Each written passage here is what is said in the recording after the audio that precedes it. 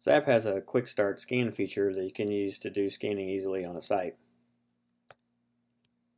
To start, we're going to go ahead and start Zap running.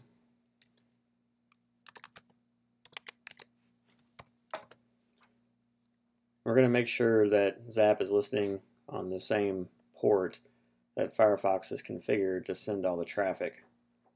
So in Firefox, I have that configured to proxy port 8081.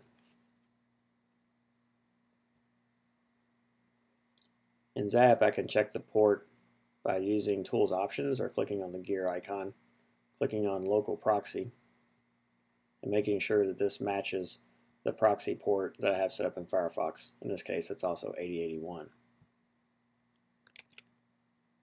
I'm going to browse to the site through Zap. And you'll see the site appear over here on the left-hand side. So I now know we have a good connection to the site.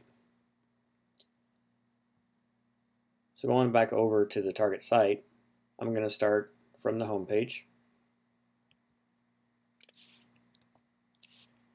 Copy that URL, go back to Zap, and paste it over here in the URL to attack window. Then I'm going to click attack. Notice that I went ahead and started from the home page. That page has a lot of links on it that go off into the other pages.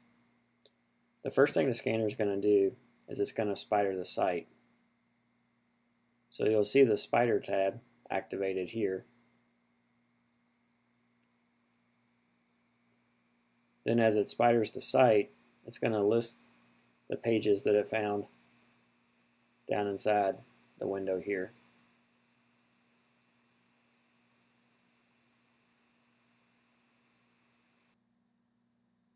Once the spidering is complete, the active scan will start and the tool will switch over to the active scan.